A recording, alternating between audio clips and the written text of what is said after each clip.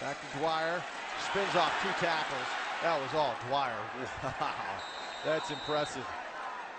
Nice individual effort by Jonathan Dwyer there.